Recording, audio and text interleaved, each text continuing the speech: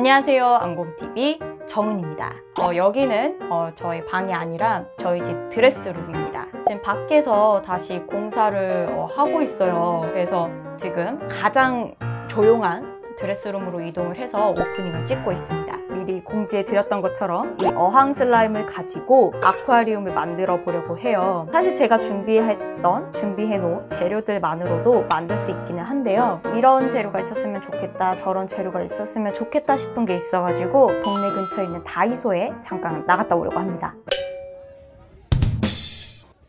생각보다 좀 큰 다이소였는데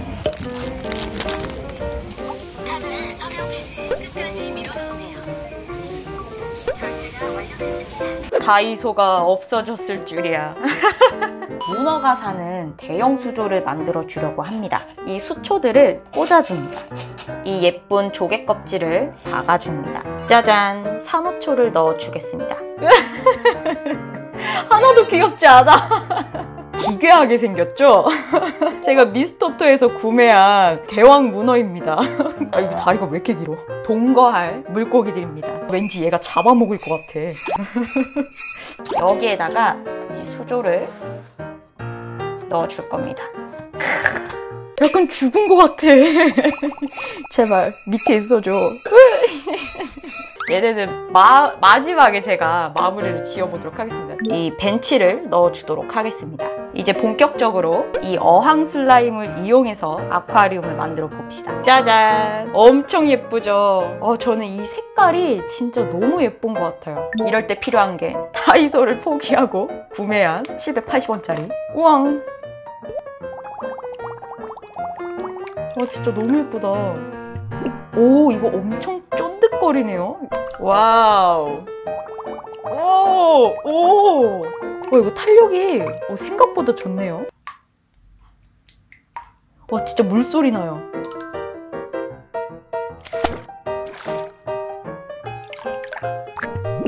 입수.